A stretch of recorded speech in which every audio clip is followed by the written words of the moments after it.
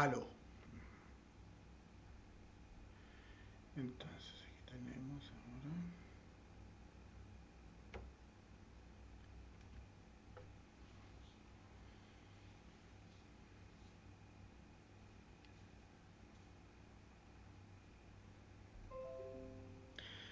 Muy buenas noches. Eh, bienvenidos a esta eh, segunda charla, la cual hoy haremos más corta. Ok. Estamos estabilizando el, el streaming. Y bueno, bienvenidos Felipe, José Andrés, Mónica.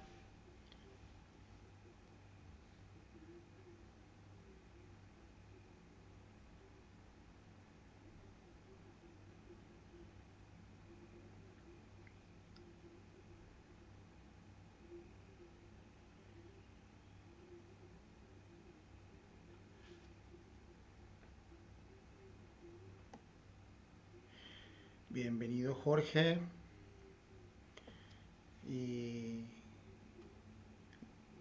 me imagino que es Carlos Gómez. Bienvenido.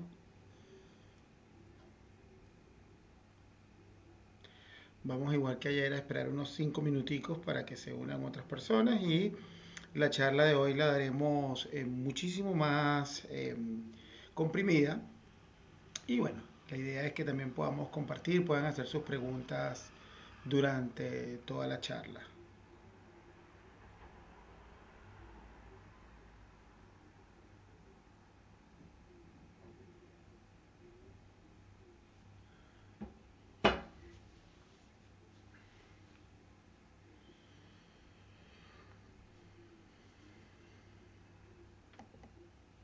Tomacho, bienvenido. Daniel Fuentes, que llegó ayer tarde y no había saludado. Ahora ya llegó más temprano hoy. Bienvenido también.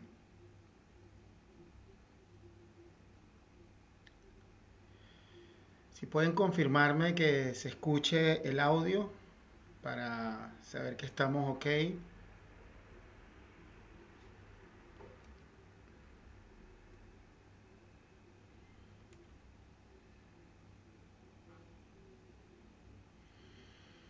Y bueno, les recuerdo que pueden compartir la, la charla en vivo en sus, en sus páginas de Facebook, este, de manera que otros también se puedan unir.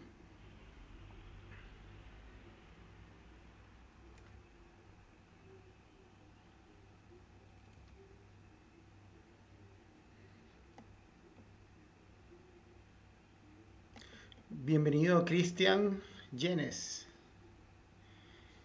Bienvenido Manuel Ursúa. Si mal no recuerdo, desde Rancagua se conecta Manuel. Mariano Mercado, muchísimas gracias por tu comentario. Bienvenido.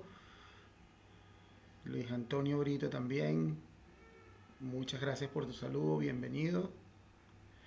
Vamos a dar unos dos minuticos más para empezar a las 9 y 5. Y como les prometí, bueno, vamos a hacer la charla hoy un poco más eh, comprimida, unas 25 minutos, media hora, de forma de que no se nos alargue y en la cual ustedes puedan también ir interactuando y poner eh, sus comentarios y preguntas.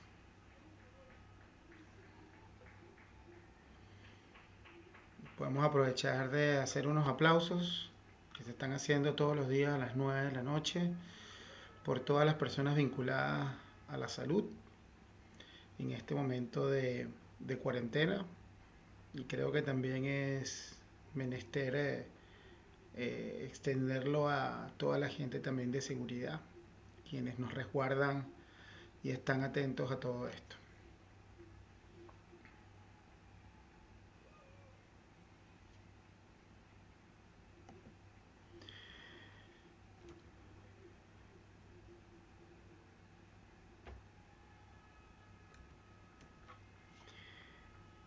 Y bueno, vamos a, dar inicio a esta segunda charla, aunque es una repetición de la que dimos ayer, donde este, quiero compartir con ustedes algunos trucos y tips sobre flotabilidad y trim y ustedes tengan la oportunidad también de aclarar dudas, hacer preguntas sobre esto que ya desde hace algún tiempo eh, está cada vez más sonando y, se está eh, escuchando.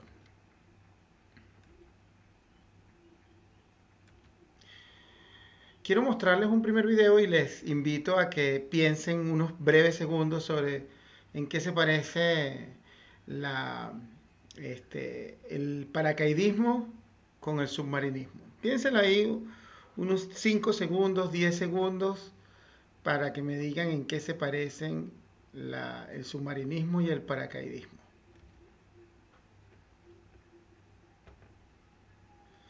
Bienvenido Claudio, un gusto tenerte por aquí. Francisco también, Lobos, Luis Alberto, creo que Luis Alberto es de Brasil, se conecta desde Brasil. David también, gracias por unirte.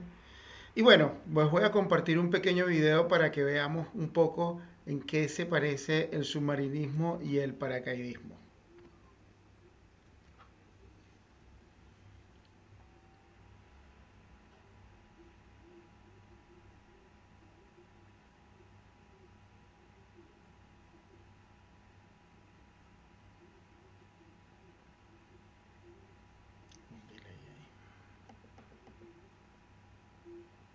Bienvenido Joel.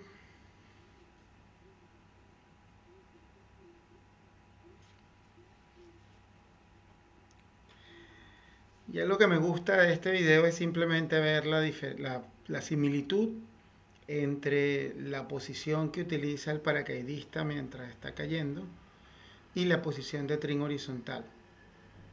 Y básicamente eh, son la misma posición donde uno este, se adapta a la aerodinámica y la posición de trim del buzo se adapta a la hidrodinamia.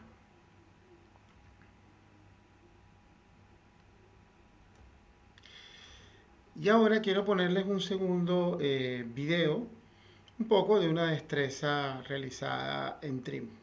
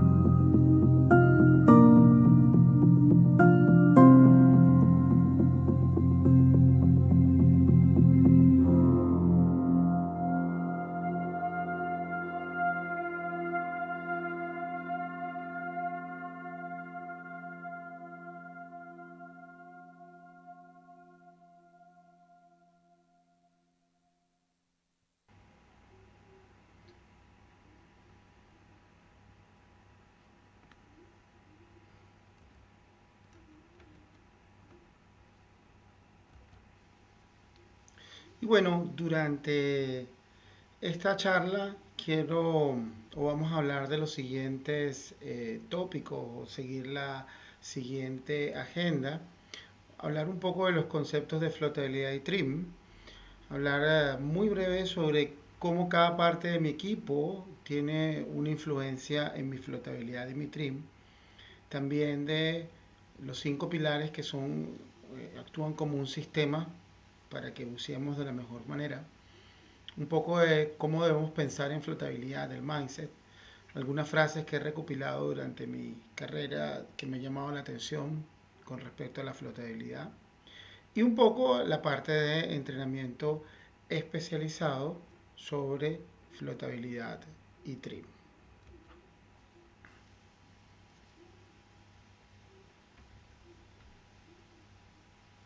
Buenas noches, Luis Alberto. Bienvenido. Bienvenido Fabián, Yerko. Saludos desde Perú. Muchas gracias, Fabián, saludándonos desde Perú. Bienvenido al doctor Francisco. Y bueno, todos nosotros desde el curso Open Water Diver hemos hablado sobre la flotabilidad o nos han hablado de la flotabilidad y se desprende del principio de Arquímedes, donde básicamente Arquímedes planteó el comportamiento de un objeto, de un cuerpo, en un fluido. Y este comportamiento básicamente tiene tres fases, que son los tipos de flotabilidad. Si el empuje del fluido vence el peso del el cuerpo, va a flotar, por lo tanto vamos a tener flotabilidad positiva. Si por lo, contrario el peso del cuerpo vence el empuje del fluido, va a hundirse, por lo tanto va a tener flotabilidad eh, positiva, en, eh, perdón, negativa. Em, y si mm, el cuerpo tiene eh, una, la cantidad de peso es igual al fluido que desplaza, entonces tiene flotabilidad neutral.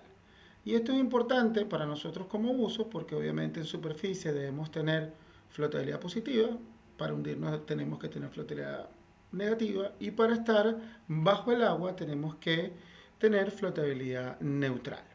¿Qué factores influyen sobre esto? Básicamente nuestra experiencia, el equipamiento, las condiciones donde estamos buceando. No es lo mismo bucear en los cenotes en México que bucear en agua fría, que bucear en el Caribe. Y estos factores tienen una influencia sobre la flotabilidad. Quizás entonces después de esto, desde hace un tiempo empezó a sonar un poco más esto del trim. El trim tiene que ver con la posición horizontal. Eh, de la traducción en inglés, si la buscamos, habla un poco de elegancia, habla un poco de balance, pero siempre he dicho que el trim ha sido el mejor secreto de los cueveros, de los buzos de cueva, el secreto mejor guardado de ellos. Porque ellos bucean en trim básicamente eh, porque esta técnica les permite realizar diferentes funciones o habilidades en entornos confinados donde es fundamental mantener una horizontabilidad, donde es fundamental no levantar sedimento, donde además pueden tener eh, que colocar flechas, colocar eh, líneas de vida, y de esta forma, con la técnica de trim, pueden perfectamente realizar todas estas habilidades. Un poco, ¿por qué bucear en trim? Eh, em, tiene mucho que ver con que soy más efectivo y tendría la relación como el paracaidista del video un paracaidista que no tenga la posición correcta durante la caída va a ser inestable. Entonces, lo mismo nos pasa en el buceo. Un buzo que no bucea en trim no va a ser igual de estable, por lo tanto va a tener probablemente un poco más de eh, arrastre, un poco más de resistencia al agua, este, va a tener que esforzarse un poco más eh, y esto significa un consumo mayor de gas y otros factores. Aprovechamos para saludar a Paula Anzoleaga, que tiene un intervalo de superficie muy largo. Esperemos que esté mejor. Ya estamos cercanos a abril y creo que pronto se podrá reactivar en sus labores de buceo. Nuevamente Francisco Harrison, bienvenido, y Luis Antonio Brito, también eh, bienvenido.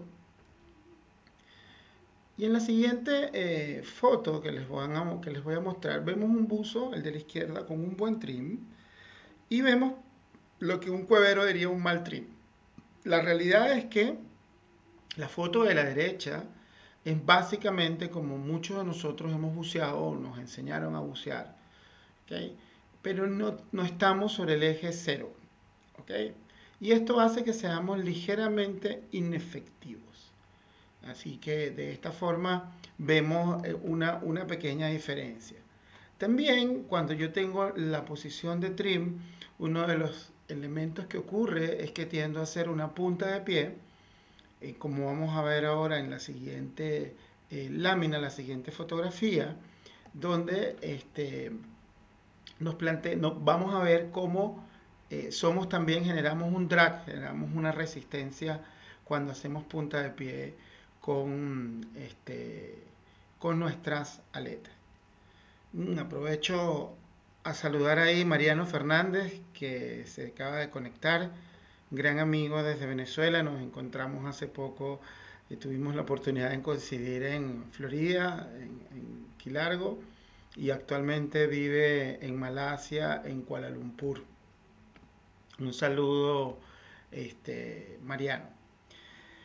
Cuando en septiembre del año pasado eh, hice, participé en el tercer congreso de buceo que se realizó en Chile, em, le pedí a algunos profesionales, colegas, que me hablaran sobre el trim y la flotabilidad. Uno de ellos, este, Steve Davis, quien es eh, Tech Simon Instructor, y tiene un portal que se llama Simon Pros, tuvo la gentileza de enviarme un video, el cual voy a compartir con ustedes, donde él nos plantea o nos comparte la importancia de bucear en, el trim y su relación con la flotabilidad. Pamela Carrasco, muchísimas gracias por compartir con nosotros y por unirte.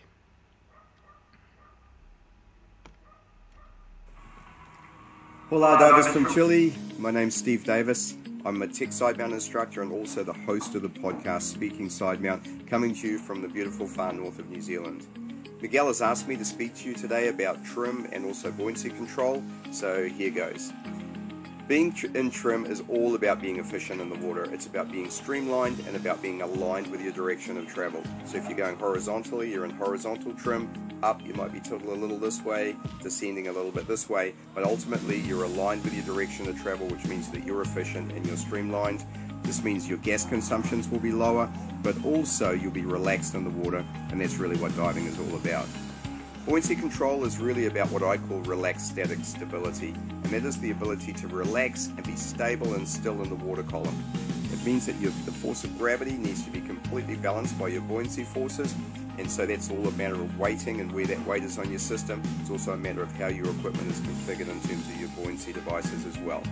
Now, relaxed static stability creates a platform within which you can then accomplish tasks underwater, such as gas switching or decompression ascents, and then the other thing that you can do is that you're a stable platform. If you have an emergency, you're a stable platform that you can then accomplish whatever you need to to deal with that emergency.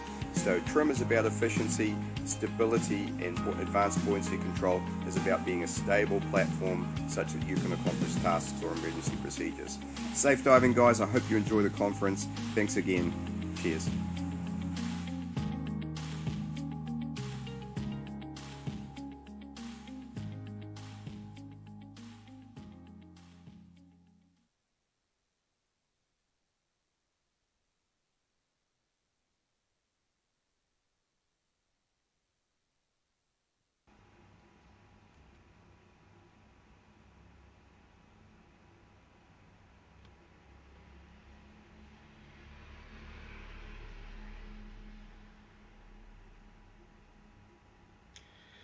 Para ser el mejor, debemos aprender de los mejores.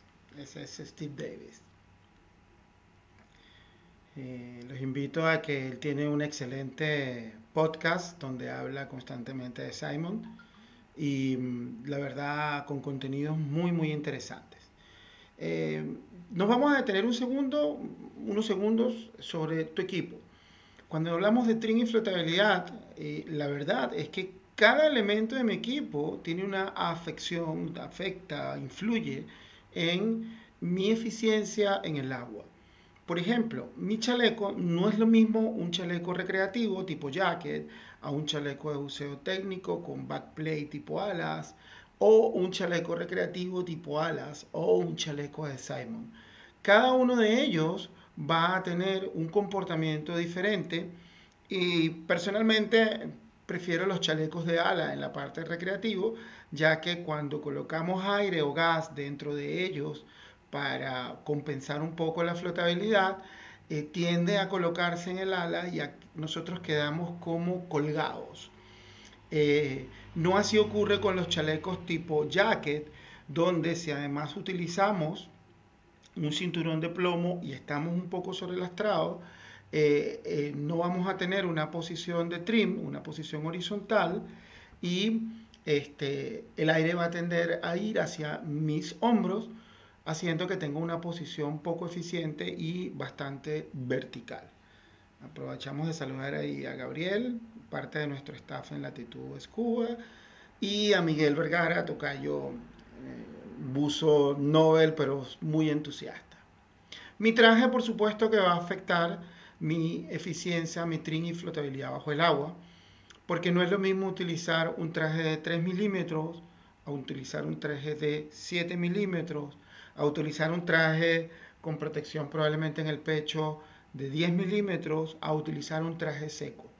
Todos estos escenarios van a hacer que varíe mi eficiencia en el agua, mi cantidad de lastre, mi distribución del peso y por ende va a tener una afección sobre mi flotabilidad y mi trim.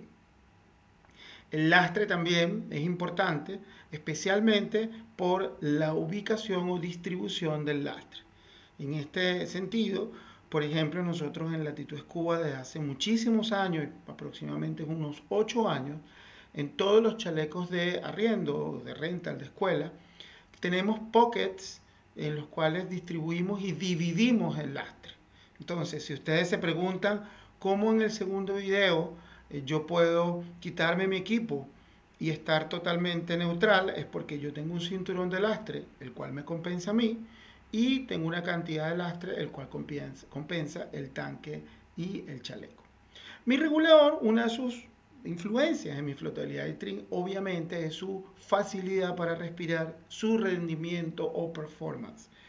Y bajo este sentido, especialmente en aguas frías, de entrada siempre ya se recomienda utilizar reguladores balanceados, preferiblemente con sello ambiental, para evitar congelamientos del sistema y evitar flujo continuo.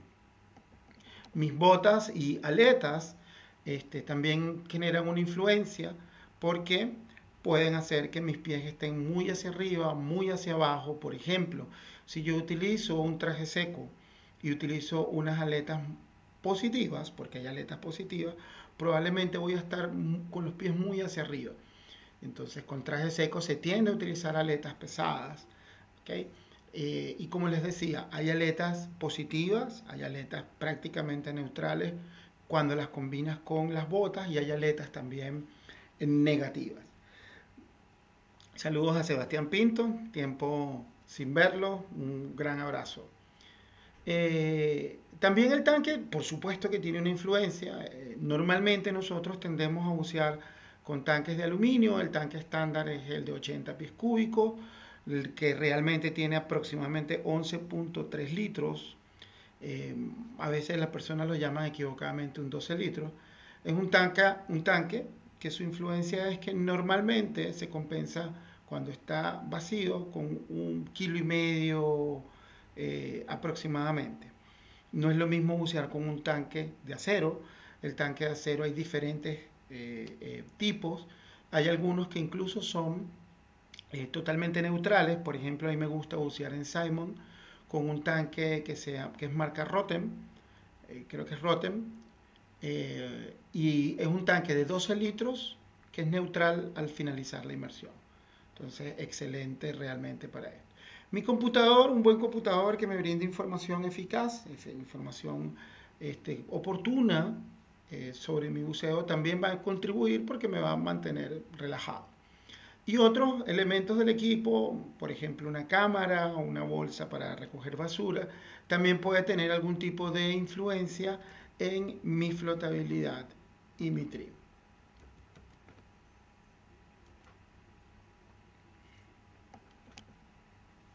Recuerden que pueden, cualquier pregunta pueden simplemente escribirla y con todo gusto la podemos eh, ir eh, comentando. Algo importante entonces dentro de todo esto es que por supuesto que cuando nosotros nos iniciamos vamos comprando poco a poco nuestro equipo, pero es fundamental tener un equipo propio. Porque si cada vez que vamos a un lugar diferente tenemos, nos dan un chaleco o nos dan un traje, eh, va, a ser, va, va, a generar diferentes cambios en mi flotabilidad y en mi trim. ¿ok? Entonces, Tener tu propio equipo obviamente va a ayudar a mejorar eh, tu flotabilidad y tu trim. Hace un tiempo, recuerdo que leyendo bibliografía y leyendo artículos en internet, me topé con uno que hablaba sobre los cuatro pilares de la flotabilidad. Y después de leerlo, eh, coincidí con los cuatro, pero me pareció importante agregar un quinto pilar de la flotabilidad. Y en este sentido, básicamente tenemos que entender esto como un sistema. Entonces, cada uno de hecho genera una interdependencia del anterior. Entonces, le voy a hablar brevemente de cada uno de ellos. Los cinco pilares son el lastre.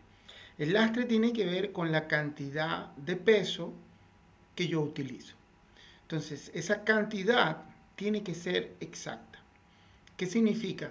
Bueno, nosotros, y aquí les comparto un, tip, existen diferentes chequeos de flotabilidad y uno de ellos que nosotros hacemos, se los voy a comentar un poco más adelante, es eh, hacer un chequeo de flotabilidad a 4 o 5 metros simulando un peor escenario de gas. Entonces, el lastre se refiere a utilizar la cantidad de lastre exacta. El balance tiene que ver con dos aspectos. Uno, la forma en que está distribuido ese lastre en mi cuerpo.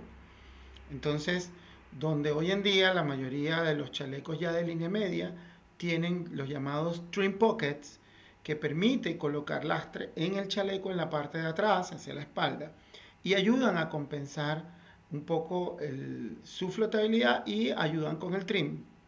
Y la otra cantidad de lastre la puedo colocar en mi cinturón. Ese balance también tiene que ver con que mi chaleco esté colocado de forma correcta, ajustado de forma correcta. Eh, por ejemplo, un paracaidista no puede tener su arnés de paracaidista flojo. Entonces nos pasa igual a nosotros. Y también es importante tenerlo colocado de forma correcta.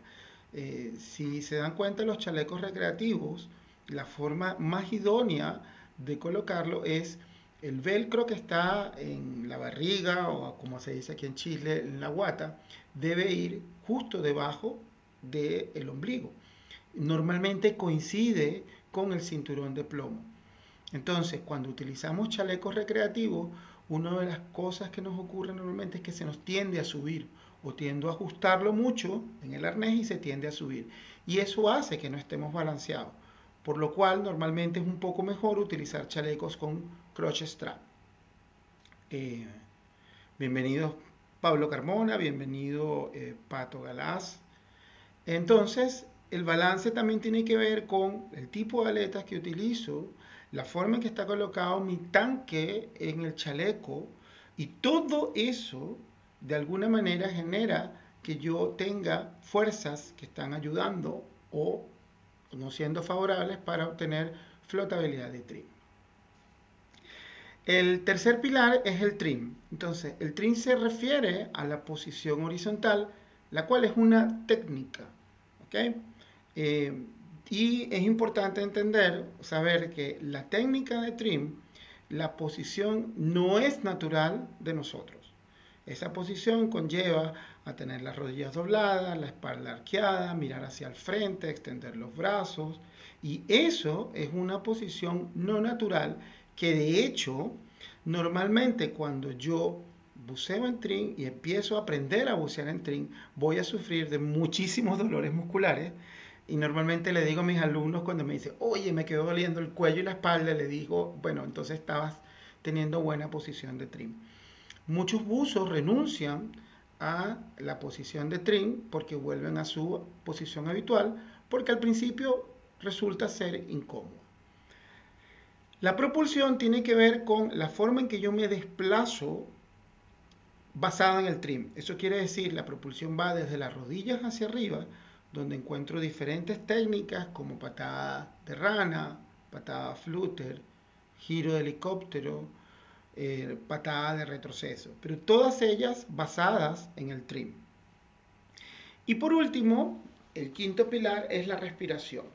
Entonces, la respiración también tiene que ver, si nosotros aprendimos desde, del, si aprendimos del curso Open que nos hablaban de la famosa regla más importante del buceo, la realidad es que para obtener un buen control de flotabilidad debo variar esa respiración. Esa respiración debe ser lenta, profunda, debo hacer pausas aproximadamente de 4, 5 o 6 segundos y debo exhalar lentamente.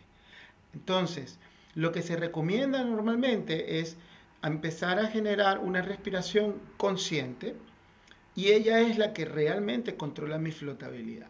Entonces, ¿por qué esto es un sistema? Porque si yo estoy sobrelastrado, va a ser difícil tener un buen balance, va a ser muy poco probable que yo tenga un trim y por lo tanto no voy a tener una buena propulsión y mi respiración se va a ver afectada. Entonces, puedo tener el lastre correcto, pero si el lastre no está correctamente balanceado o mi equipo no está correctamente colocado, va a ser difícil que yo obtenga trim.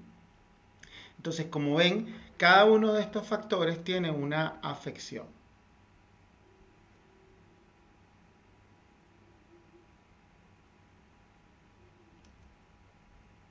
Entonces, ah, lo que habla Pablo, efectivamente, Pablo, hay que entrenar esos músculos chicos y también vamos a tener probablemente algunos calambres. Hay algunos ejercicios eh, fuera del agua que ayudan a ir fortaleciendo los músculos lumbares y los músculos del cuello. Bienvenido Fabián, muchas gracias por tu saludo. Bienvenido Luis. Entonces, como les hablaba, es importante tener el lastre correcto. El lastre va a variar dependiendo del entorno, agua salada, agua dulce. Va a variar también dependiendo del tipo de configuración. Si yo uso en Simon, no utilizo el mismo lastre que en Backmon, que no utilizo el mismo lastre que en buceo técnico con bigotella. Lo más importante aquí, eviten el sobrelastre. Y el chequeo de flotabilidad que les comentaba, nosotros siempre hacemos, eh, enseñamos a nuestros alumnos hacer un chequeo dentro del agua que es a 4 o 5 metros, teniendo una línea de referencia.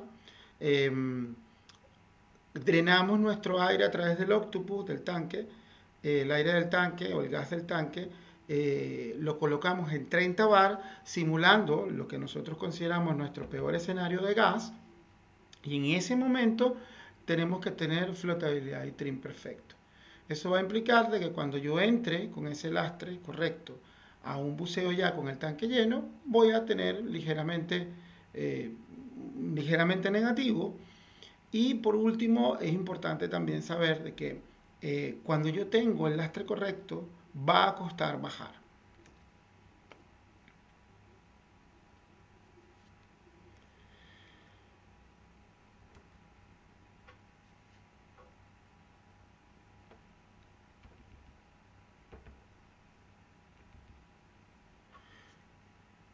Gonzalo, muchísimas gracias por tu comentario. Gracias, Pato, por tu comentario.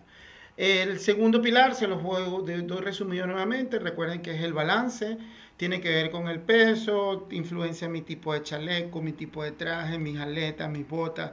Debe haber una distribución correcta de este equipamiento. Y un segundo tip que normalmente nos ocurre especialmente cuando nosotros no tenemos nuestro propio lastre, es que eh, nos dicen, ¿cuánto usas tú? Bueno, yo uso 9 kilos. Nada, ahí tienes un cinturón con 10 kilos. Probablemente el cinturón no, no, tiene esos 10 kilos, puede ser un poco más. También puede ocurrir con ese cinturón que no esté correctamente colocado el lastre, por lo tanto podemos estar desbalanceados. Y además, si nos toca armarlo dentro de una embarcación, puede ocurrir que nos mareemos. Entonces, fundamental armar su lastre antes de entrar en el bote. En cuanto a la posición de trim, eh, le voy a... Muchas gracias Cristian Hidalgo por tu, por tu comentario. Esa es la idea y también se escuchan cualquier sugerencia de alguna otra charla que quieran ir que vayamos desarrollando. En la siguiente foto vamos a ver un buzo este, en el cual eh, es importante que noten la configuración eh, del tanque. Veamos entonces, fíjense la altura del tanque, fíjense la cantidad eh, de aire que se ve en el cuello. Además, este chaleco se nota que lo tiene como, como subido. Evidentemente se nota eh, que hay sobre lastre en este, en este buzo. Por lo tanto, si estoy sobrelastrado, si tuve que echar excesivo gas a mi equipo, si además estoy desbalanceado porque la altura del tanque está muy por arriba de lo donde debería estar, eh, obviamente va a ser difícil que tenga un trim correcto.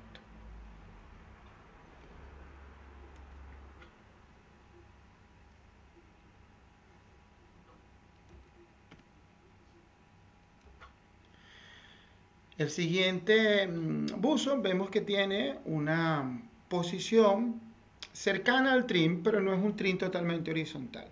Es quizás la posición en la cual la mayoría de los buzos con experiencia, pero que no han accedido a entrenamiento especializado, bucean. Entonces, no es que sea una mala posición, está muy cercana al trim, pero no está en el eje cero. Por lo tanto, todavía le falta un poco.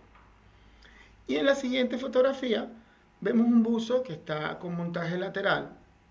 Y aquí es interesante porque este, fíjense lo interesante. Este buzo, su cuerpo no tiene trim y sus tanques no tienen trim. Por lo tanto, él no está siendo eficiente bajo el agua, no está siendo hidrodinámico. Eh, Y ahí vemos un poco entonces el llamado estilo recreativo, que era la foto del buzo en piscina. Este, hay personas con muy mal trim, eh, cuando bucea sobre el estrado, como las primeras fotos, y es lo que yo le llamo la posición del caballito de mar, donde no estoy siendo eh, realmente eficiente.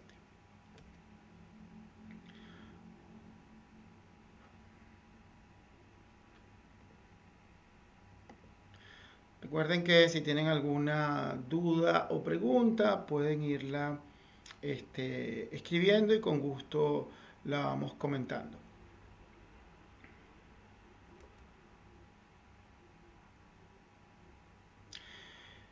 Entonces, cuando yo tengo un, la siguiente lámina esta, el buen trim se refiere a estar más en el eje cero, donde tengo un perfil totalmente hidrodinámico y yo siempre bromeo con nuestros alumnos de estar bonitos para la foto. Veamos ahora un video.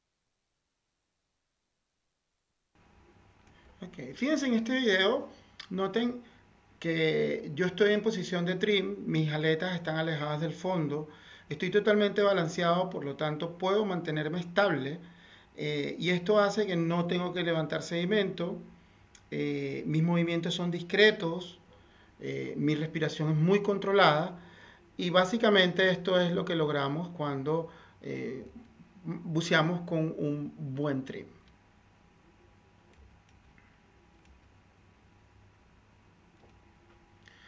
En esta eh, siguiente lámina, lo que les hablaba entonces de la propulsión está basada en el trim y hay diferentes tipos de em, patadas, las cuales es importante ir dominando. Este, es súper interesante realmente eh, el irlas manejando. Ahora les voy a mostrar un pequeño video donde vemos a Sofía, mi esposa, alias la capitana, quien está haciendo frog kick esto fue en Florida y vean lo interesante de su forma de bucear sin utilizar las manos. Las manos las utiliza para tomar eh, fotografías.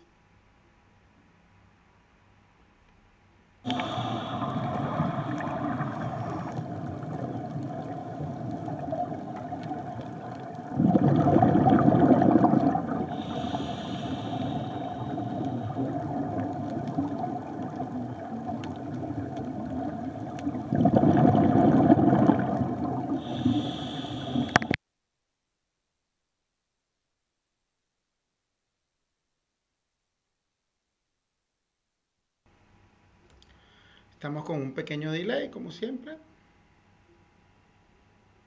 Fíjense que cuando tengo un buen trim y tengo la posición correcta, yo puedo estar estable, mis pies no se bajan, eh, no utilizo las manos, entonces esto me permite tomar mejores fotos, mejores videos, este, o hacer cualquier otra actividad eh, bajo el agua.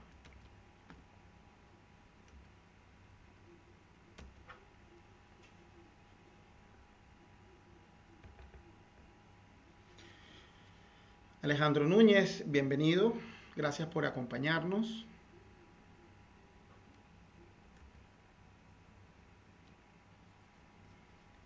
Por último, eh, de los cinco pilares, como le hablaba, la respiración, que es fundamental, donde, bueno, efectivamente no, la regla más importante del buceo no se aplica exactamente, debe ser lento y profundo, deben haber pausas y podemos practicar cuando hacemos yoga o hacemos este, mm, tai chi o meditación, se pueden practicar esos mismos ritmos respiratorios.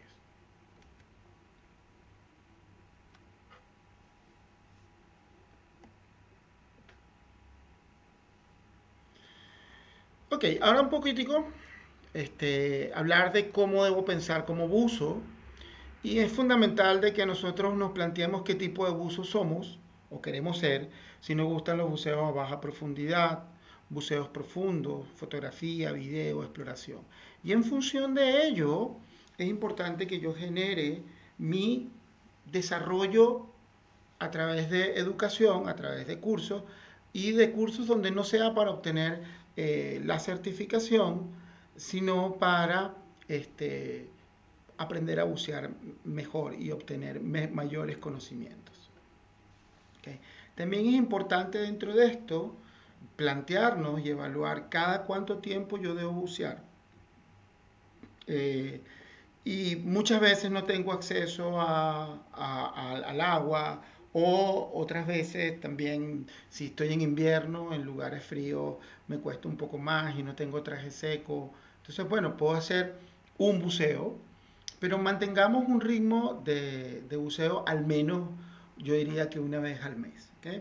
Otro punto importante, bueno, es Hoy en día tenemos herramientas multimedia, cámaras GoPro, Action Cam, este, las cuales nos permiten grabarnos constantemente. Entonces, utilícenla, graben, grábense y vean cómo es su rendimiento bajo el agua.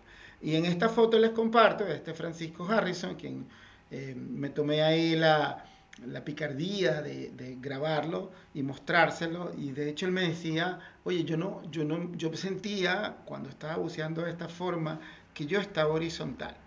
Después eh, Francisco hizo su curso de este, flotabilidad extrema y cuando hizo el curso empezamos a generar los cambios, los cuales ahora van a poder ver en las fotos,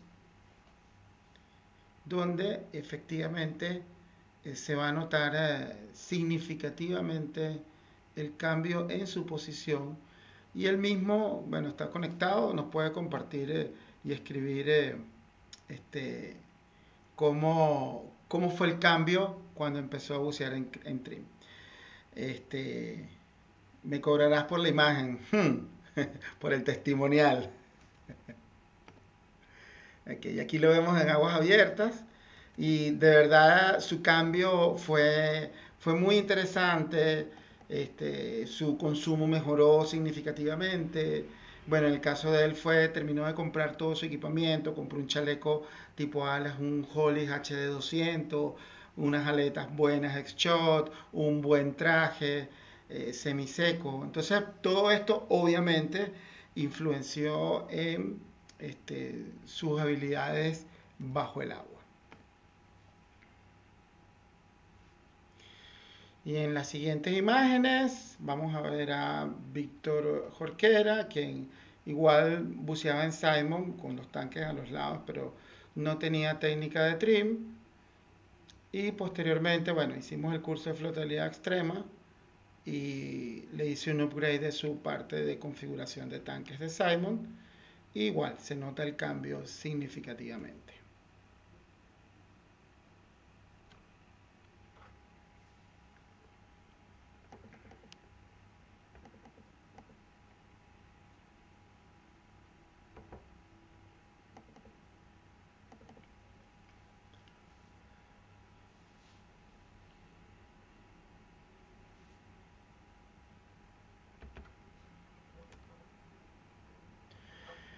Es importante entonces tomar en cuenta que empecemos a pensar en la flotabilidad no como una destreza, sino como un hábito. Debe estar todo el tiempo metido. Y en este caso, por ejemplo, nosotros en Latitudes Cuba, desde el curso Open, dedicamos aproximadamente una hora, hora y media solamente a controlar flotabilidad para empezar las destrezas del curso Open. Y esto, la, digamos, eh, la consecuencia excelente de esto es que el, nuestros alumnos también no los arrodillamos en la piscina, sino que los acostamos, les enseñamos posición de trim. Obviamente no siempre se logra la posición de trim desde el principio, pero aprenden a controlar su flotabilidad, realizan todas las habilidades con flotabilidad neutral y cuando van al mar no tocan fondo.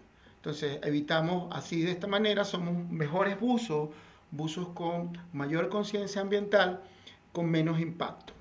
Referente a lo que has dicho de la forma de aprendizaje, lo que creamos son patrones cuando aprendemos una cosa. Si, si ese patrón eh, aprendemos al día siguiente otra cosa sobre esa misma cosa, ese patrón se destruye, se modifica y se guardan patrones, patrón tras patrón. Cuando nosotros aprendemos una cosa sobre la que ya sabíamos algo, el patrón que se genera no es completamente nuevo. El cerebro tiene un sistema para detectar que ya tiene conexiones relacionadas con eso. Lo que hace es activar las conexiones esas y suma los nuevos aprendizajes al patrón que ya tenía. Lo amplía, lo refina, lo perfila.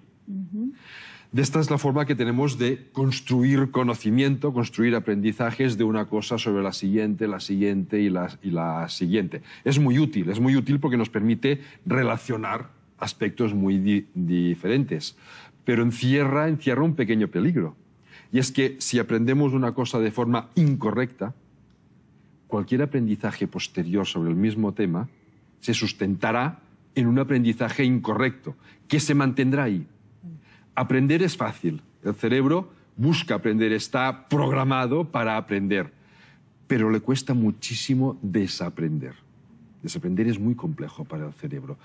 Está programado para hacer conexiones nuevas, pero excepto en un momento muy concreto de la vida que es la adolescencia, que es otro mundo, ya hablaremos, excepto en este instante, le cuesta mucho deshacer las conexiones que ya ha hecho. Considera que si en un momento dado ha hecho una conexión es porque era interesante, ¿para qué borrarla luego? Y la guardamos siempre. Lo guardamos siempre, aunque sea incorrecto. Lo que no significa que no podamos modificar aprendizajes incorrectos a través de repetir muchas veces el mismo aprendizaje de forma correcta, al final terminamos teniendo más conexiones correctas que no incorrectas. Pero las incorrectas siguen ahí y en algún momento dado pueden aparecer sin que nos lo esperemos.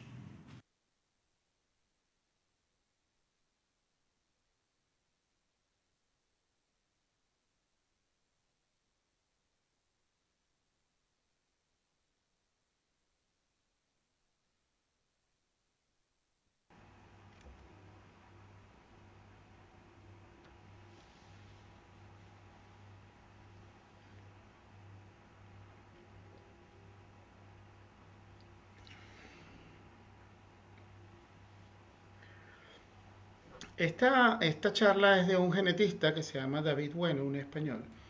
Y algo que me gusta mucho de esta charla es que lo importante de aprender bien desde el principio. Entonces una de las cosas que nos ha ocurrido, porque yo también me ocurrió, es que nos enseñaron a bucear en la piscina de rodillas, en el mar de rodillas. Nos enseñaron a practicar fin pivot y hovering, eh, nos sobrelastraron simplemente para hacerlo, entre comillas, más fácil, para, entre comillas, más seguro. Pero esto generó que cambiar eso es más difícil con el tiempo. Entonces, la invitación igual es al desafío para quienes son buzos de acceder a cursos donde su, podamos mejorar todos estos elementos y también a los que son profesionales del buceo a salir de nuestra zona de confort y a empezar a generar cambios en nosotros para después transmitir esos cambios en los alumnos. Algo importante entonces que también me gusta hablar es cómo aprendemos. Entonces, esto es fundamental en la parte de profesional. Eh, las personas tienen estilos de aprendizaje diferentes, por lo tanto, yo tengo que proveer esos diferentes estímulos. Debo permitir práctica y reflexión para generar aprendizaje. Este, el aprendizaje, o mejor dicho, el curso que es rápido, el curso simplemente para hacerlo fácil, genera un aprendizaje precario que también genera poca seguridad en el buzo, lo cual puede repercutir en cualquier incidente eh, bajo el agua. Por ejemplo, yo siempre digo, muchos buzos toman un curso advanced inmediatamente. Y entonces, porque para que vayas a 30 metros. ¿Y de qué sirve ir a 30 metros si te gastas el aire, el gas inmediatamente? ¿Y de qué sirve ir a 30 metros si eres incapaz de controlar tu flotabilidad? Este, eso va a generar que hiperventiles, va a generar mayor riesgo de una mayor narcosis, va a generar también que puedas estar escaso de gas en una parada. Entonces, todos esos son factores que repercuten. Eh, esta parte, y los invito a que también busquen en internet las formas en que aprendemos, y hay un ciclo que es el ciclo de Kolb, que también se ayuda mucho en la gamificación, en el aprendizaje a través del juego, donde básicamente lo que hacemos es recibir una experiencia, este, y, empezar a reflexionar sobre ella. Eh, una forma de reflexionar sobre nuestra experiencia es grabándonos. Grábense, véanlo este, y digan, generen una estrategia para mejorar. Eh, y después entonces a través de la repetición yo logro aprenderlo. Y así es como genero también eh, memoria muscular.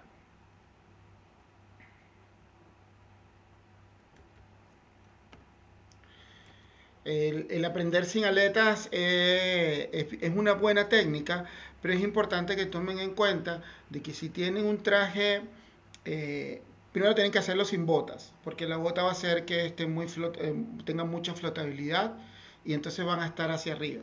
Entonces lo mejor es una piscina temperada y hacerlo sin botas. Y efectivamente, pero nuevamente hay que grabarse, grábense y por supuesto que la idea de esto es acceder a entrenamiento eh, especializado donde uno contribuye a borrar todos esos elementos y generar el nuevo conocimiento.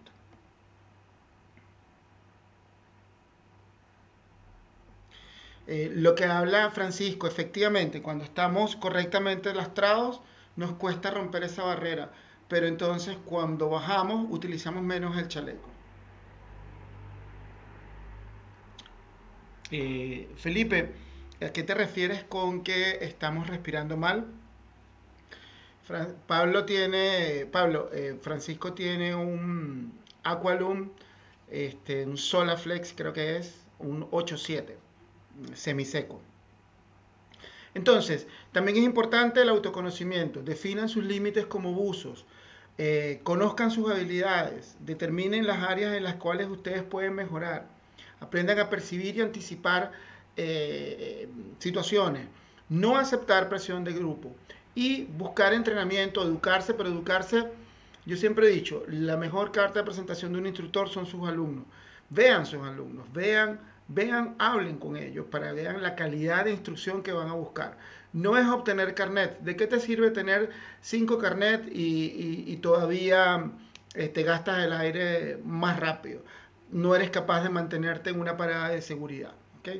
Y un poco de esto es, especialmente para los que son profesionales, es que el ego no es un buen compañero de buceo.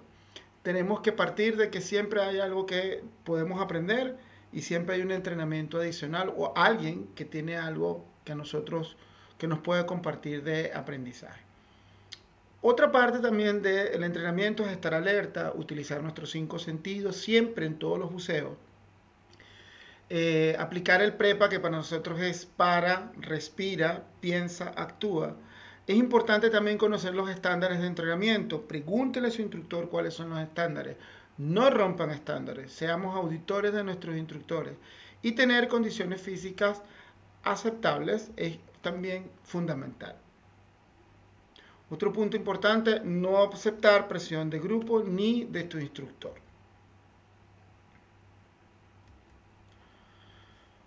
Un buzo responsable es autosuficiente, trabaja en equipo, es disciplinado, es precavido, está físicamente bien entrenado y además acepta sus responsabilidades. Es importante ser buzos competentes y tener confianza en sus habilidades. Eso es fundamental. Eh, otra, un tip también importante es hacer chequeos de flotabilidad regularmente. Yo, por lo menos, cada 5 o 6 buceos hago un chequeo de flotabilidad, buceo constantemente, por lo tanto, al menos una vez al mes hago chequeos de flotabilidad. Y si estoy en un entorno nuevo, debo hacer un chequeo de flotabilidad. Una forma, un tip que les voy a, compartir, colóquense lastre para ustedes, es decir, que estén neutrales, que estén flotando al nivel de los ojos eh, en apnea y coloquen aproximadamente unos 2 kilos a un chaleco y ahí pueden partir eh, para bucear en un entorno nuevo y posterior a eso eh, hagan el chequeo a los 4 o 5 metros. Otra parte importante es la gestión de gas. Este, desde el, el, curso recreativo, en buceo recreativo, siempre nos han enseñado una gestión de gas bastante, digamos, holgada. No sé si algunos están familiarizados con el criterio de buceo técnico, y en el criterio de buceo técnico simplemente hay algo que se llama regla de tercios, donde el buzo, si tiene 210 bar, usa 70 para ir, 70 para regresar y deja 70 en, eh, en reserva. Entonces, nosotros en buceo recreativo debemos ser también conservadores, debemos tener una planificación responsable. En nuestro caso, ahí en la imagen que tienen en la derecha, eh, nosotros enseñamos a nuestros alumnos que con 80 bar eh, iniciamos un ascenso a superficie para hacer parada de seguridad y salir, este, y salir con 50 bar.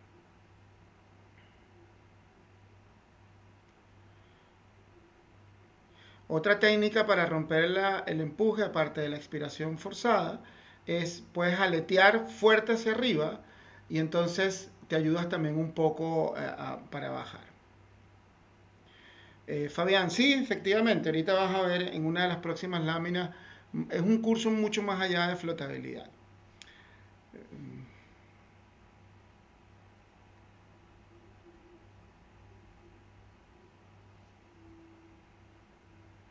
Em, el comentario de Felipe, Felipe, efectivamente, uno de los elementos más importantes es romper el empuje y, tiene que ver mucho con la respiración. Si yo no exhalo el aire de mis pulmones, va a ser un poco más difícil eh, o bastante más difícil. Entonces, eh, hay personas que cuando aprenden la técnica eh, lo pueden hacer mucho más fácil, ¿ok? Pero muchísimas gracias por, por tu comentario.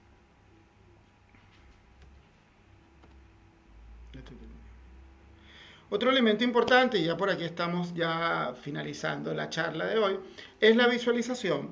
La visualización es creación de imágenes. Tiene diferentes usos. Se puede usar en la medicina, en el turismo, en el deporte. Para nosotros, eh, y en este momento que estamos en, en cuarentena, bucear en seco, es, visualizar es bucear en seco. Y aquí les comparto un video de un atleta paralímpico que se llama Enamed Enamed español, quien es ciego, y este, hace natación. Y es un excelente video.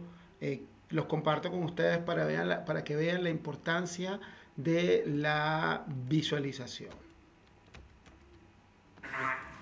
Yo quería preguntarte, no es fácil eh, superar las pruebas ¿no? que te pone la vida cada día, pero yo me imagino que como todo pues se puede entrenar.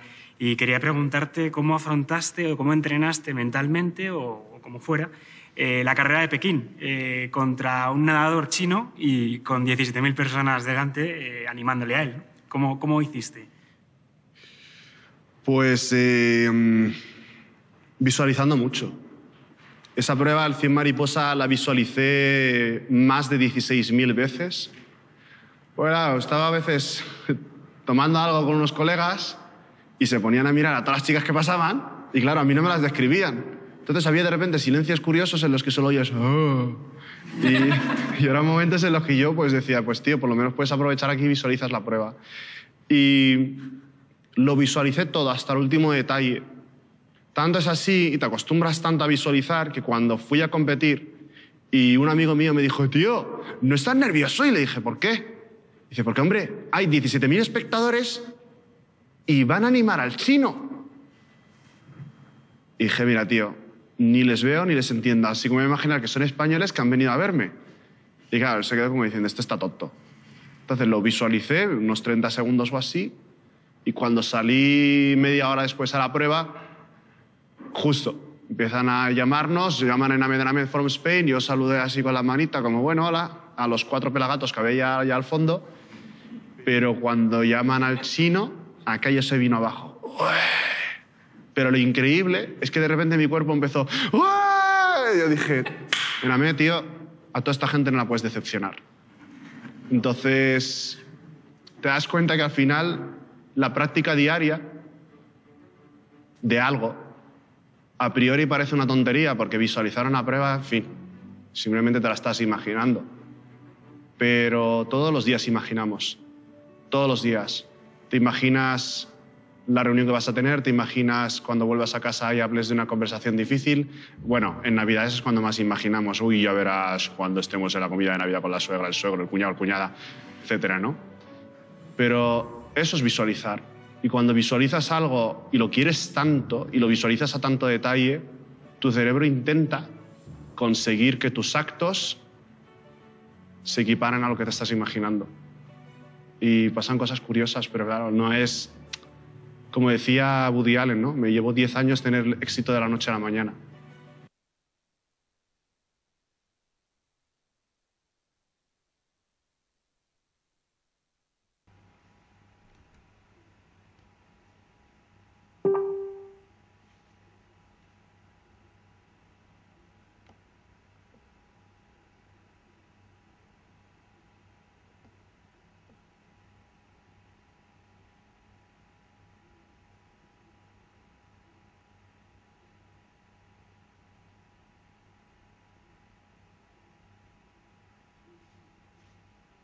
Como dice Enamet, no es cuestión de vista, es cuestión de visión. Miguel, exactamente lo que te acabas de decir es súper recomendable. De hecho, eso se hace para bajar los primeros dos metros. Ya después el traje, especialmente en agua fría, empieza a comprimirse y este, va a ser mucho más fácil descender.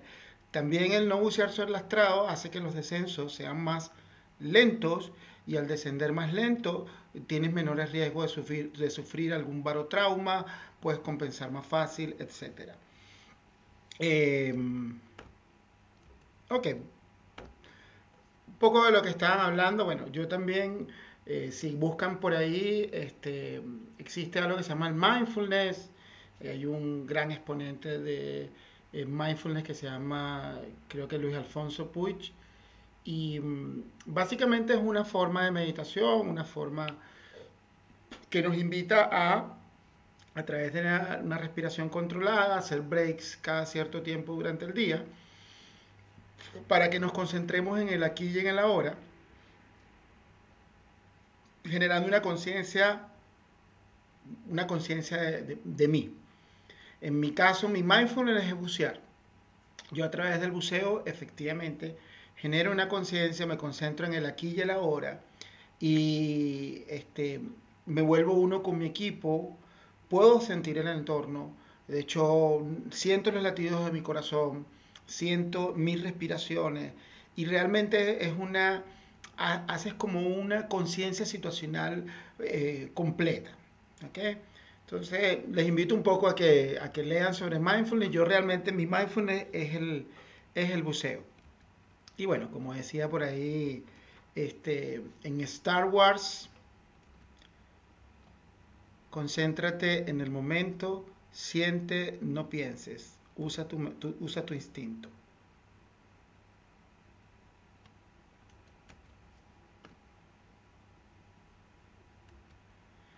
Ya para finalizar, les voy a compartir dos láminas más. ¿okay? Este, esta primera es sobre frases que he escuchado durante muchos años de mi carrera.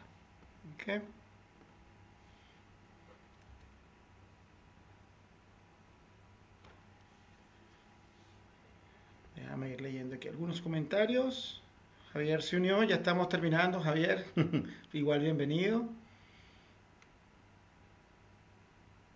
Gracias Tomacho por tu, por tu comentario. Efectivamente, bueno, esa ha sido la idea, lograr entregar herramientas efectivas para mejorar eh, eh, drásticamente los buzos.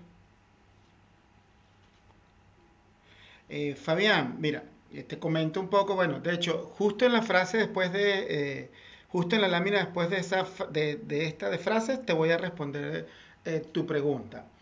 Em, durante la carrera he escuchado muchas cosas. Una de ellas es me cuesta mantenerme eh, en flotabilidad. Bueno, tiene que ver con los cinco pilares. Si estás sobre el te va a costar mantenerte. Si no estás en trim, entonces vas a estar, siempre se te van a caer las piernas. Este, vas a ser ineficiente. Si no respiras correctamente, también va a ser difícil. Entonces te va a costar mantenerte. ¿Te dura poco el aire? Bueno, por tu ritmo respiratorio normalmente. Entonces, si estás sobre el vas a tener un ritmo respiratorio inefectivo. Este, saca una cuenta sencilla. Cuando respiramos de forma lenta y profunda, por ejemplo, tomar aire en unos 2 segundos, mantener el, el aire 5 segundos y después exhalarlo en 4 o 5 segundos, nosotros tardamos aproximadamente unos 14 segundos, 15 segundos, eh, lo cual significa que en un minuto vamos a tener unas cuatro o cinco respiraciones. Si yo inhalo y exhalo rápidamente, voy a tener al menos el doble de respiraciones que de la forma primera que les acabo de decir. Por lo tanto, es sencillo, es sumas y restas. Si tú llenas 10, 12 veces tus pulmones y tu instructor lo llena 6 veces, en un minuto vas a gastar el doble de gas que el instructor. Otro de los elementos es no me puedo mantener cerca del fondo. Efectivamente, si no tengo trim, entonces si estoy cerca y tengo buena flotabilidad, se me van a caer los pies como efectivamente a mí me ocurría hace muchos años. Eh, ¿Qué es eso del trim? Y suena muy técnico. Bueno, efectivamente lo que pasa con el trim es que es el secreto mejor guardado de los cueveros. ¿Okay? Cuando vamos a México o accedemos a cierto, especialmente en México, eh, no hay otra forma. De hecho, si usted quiere hacer un curso de cuevas, tiene que hacer un curso y tienen que resetearte y tienes que aprender a bucear en trim. Si no, no puedes entrar en la cueva. ¿Por qué? Porque si usted entra en un espacio confinado, levanta sedimentos, se golpea con las cosas, es incapaz de estar totalmente horizontal y de poner una línea, entonces estás poniendo en riesgo tu vida. Entonces, simplemente no puedes entrar en la cueva. Eh, no puedo dejar de mover las manos. Efectivamente, cuando también no controlo mi flotabilidad, tiendo a tratar de mover las manos para mantenerme en una misma profundidad. No sé cuánto lastre de usar. Esto efectivamente hay, siempre nos enseñan el chequeo de flotabilidad que en el curso Open, que es flotar a nivel de los ojos, aguantando la respiración con el chaleco vacío. Y yo hago otro que es el que les dije, a 4 o 5 metros, peor escenario de gas que son 30 bar Em, con una línea y estar totalmente neutral. Hay que usar sobre la estrada porcia y esto es algo que he escuchado muchas veces y si ustedes ven les invito a que entren a la página web de Steve Martin, Simon Team, el mismo Steve Davis, Tomás Michura, todos ellos también son instructores de Simon. Todos, todos coinciden en no hay que bucear sobre el astrado, no hace falta sobre lastrarse. La flotabilidad se aprende en el camino. Y eso, este, la verdad es que mm, no es totalmente cierto. Y mm, justo ahorita van a ver una frase que dice, la repetición sin técnica no es efectiva. De nada sirve repetir lo mismo, lo puedes repetir mil veces, si lo estamos haciendo incorrecto, no va a generar aprendizaje. Entonces, el tema es tener las técnicas correctas para poder aplicarlas, ¿ok? De eso se trata.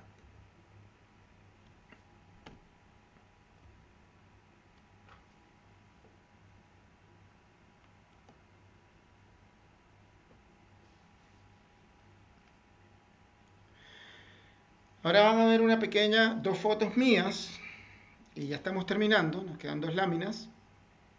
Eh, en esta foto que van a ver, tiene unos cuantos años, y bueno, así buceaba en aquel momento. Ya la van a ver.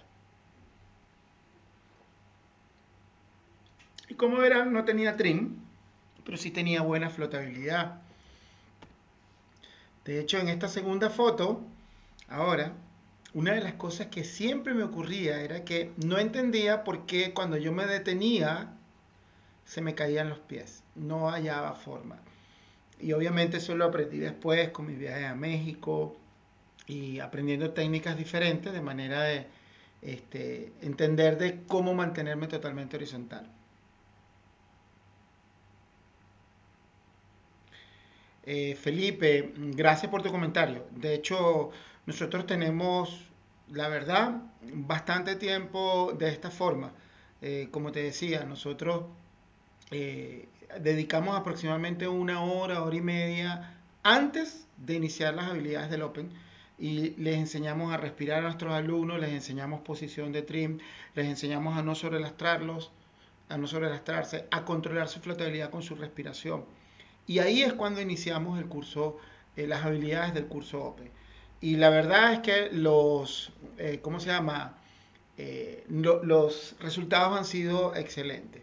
Y bueno, aquí tienen otra foto de cómo hoy en día buceo.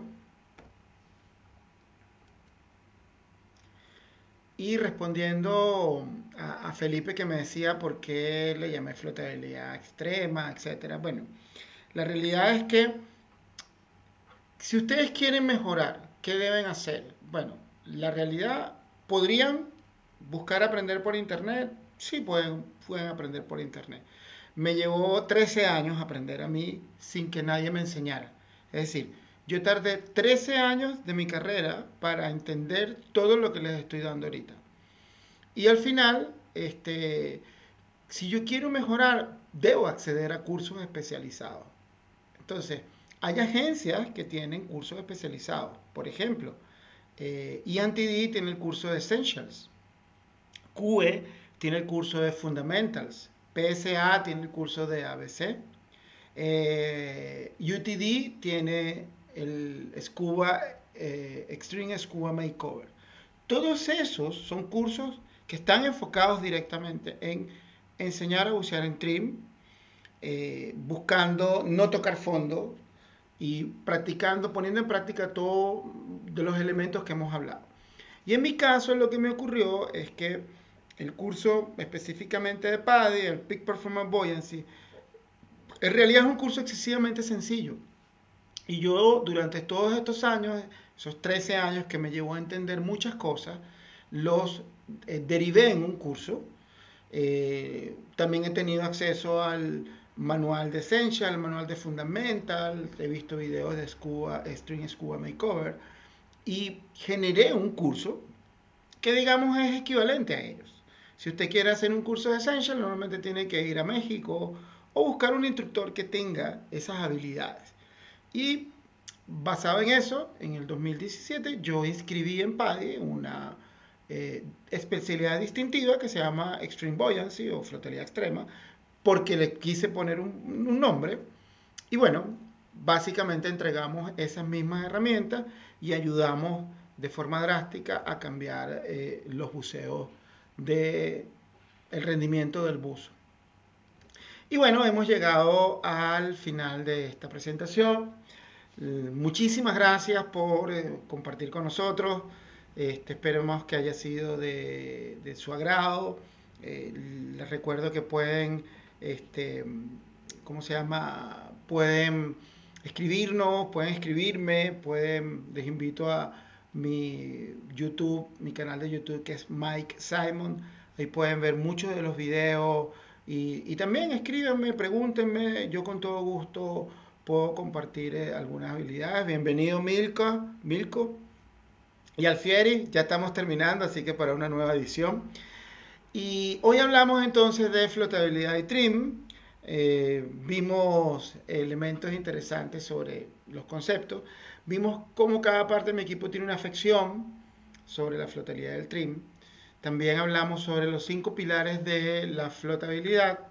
Hablamos también sobre el mindset de flotabilidad algunas frases este, que he escuchado durante años y cómo acceder a entrenamiento especializado. ¿okay? No me queda más que, que, darles las gracias por compartir con nosotros. Eh, eh, muchas gracias por tu comentario, Felipe. Este, coincido plenamente este, eh, tu criterio de, de, no, no generar, yo le llamo no generar churros. Hay que tratar de formar excelentes buzos. Y eso a veces exige, y es importante que los alumnos exijan y que los alumnos entiendan de que no hay atajos. Eh, los cursos rápidos y baratos no existen. Van a tener algo que va a faltar. Entonces, simplemente busquen buenos entrenamientos, busquen. Hay buenos instructores, hay buenos centros de buceo y exijan. O sea, tenemos que, ser eh, tenemos que exigirle también a los instructores que nos den calidad. Otro elemento que yo siempre digo, cada, por lo menos una vez al año debemos ser alumnos. ¿ok? Este, ¿Por qué? Para cambiarnos, en el caso de los instructores, sentarnos en la otra silla. Y en el caso de ustedes, que, están en buceo recreativo, es acceder a, nuevos conocimientos. Este, Alejandro, muchísimas gracias por tu comentario. Igual Miguel, este, todos queremos volver al agua, créanme. Este, sinceramente estamos con este intervalo de superficie obligado, eh, por lo tanto estamos contando los días, pero por este momento debemos todos hacer el break. Pronto vamos a hacer nuevas charlas también la semana que viene. Tenemos una, un proyecto, vamos a hacer una charla, pero utilizando Hangouts Meets para vernos las caras todos y creo que el tema va a ser que cada, cada uno cuente una historia de buceo interesante. Este, así que para la semana que viene continuaremos haciendo actividades. Muchísimas gracias por compartir con nosotros y no me queda más que este, regálenos sus comentarios, visiten el fanpage de, de Latito Escuba y sean, háganse, únanse en YouTube Latito Escuba Chile y mi, mi, mi, YouTube también es Mike Simon. Y bueno, los esperamos en próximas oportunidades. Muchísimas gracias por compartir con nosotros.